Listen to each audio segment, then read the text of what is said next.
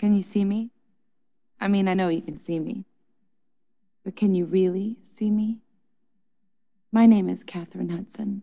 I'm vulnerable and strong. I'm a woman, an artist.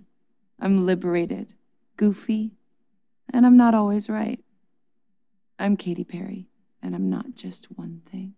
Can I get a witness?